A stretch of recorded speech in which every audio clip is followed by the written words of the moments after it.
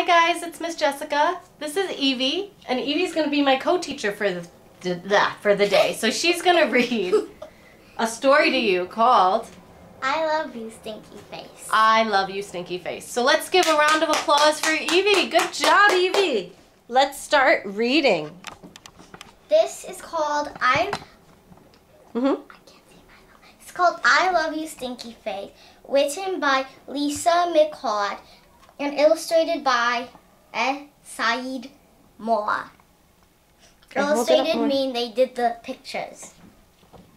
Good job. Okay, let's start And reading. this is the back of the book. It has, I think this is like, like a letter or something. It tells you what the book's about. Oh, it tells me what the book's about. Even if a little boy were an alligator or a super smelly skunk, this mother would love her child unconditionally. Share this magical book with the with the stinky face in your life. A funny, tender bedtime story. Book list star review. Okay, let's start reading it. What's up? For Amy, LM. For my best wonderful ones, Lindsay. You don't have to read that part, Evie. It's okay. Okay. Mama said, I love you, my wonderful child, but I had a Wait. question.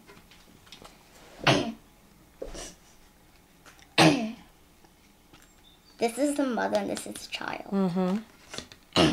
If you were a if you were a big scary ape, I would make you birthday cake, your birthday cake out of bananas, and I would tell you, "I love you, my big scary ape." Good job. Turn the page. But mama, but mama, but mama, what if I were a super smelly skunk and I smelled so bad that my name was Stinky Face? Then pl- plunk you in a bubble bath, and if you still smelled stinky, I wouldn't mind. I'd whisper in your ear, I love you, Stinky Face. This is the book title. But mama, but mama, what if I were an alligator with big sharp teeth? Ha. I'd buy you a bigger toothbrush.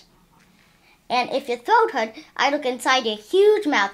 I tell you, I love you, my dangerous alligator. Good job. Never got an alligator. Okay. One. Okay. But mama, what if I were a terrible meat-eating dinosaur? Ha. Then I'd make you a mountain of hamburgers to eat. And I'd say, I love you, my sweet, terrible dinosaur. Then I would live by the swamp. Ow! Oh, sorry. live by the swamp and take care of you always. I tell you, I love you, my slimy slump. What? Did I skip a page? Oh, yeah. but mama, but mama, what if I were a swamp creature with slimy, smelly seaweed hanging from my body? Then I would live by the swamp and take care of you. Always, I tell you, I love you, my slimy swamp monster. That's him.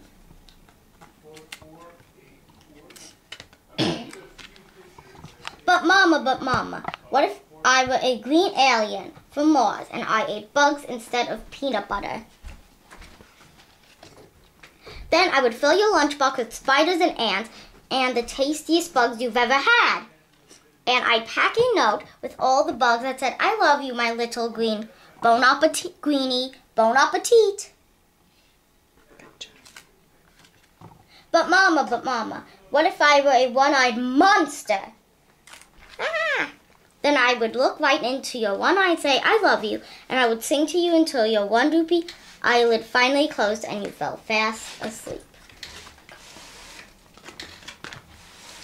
I love you, Mama, and I love you, my wonderful child. The end.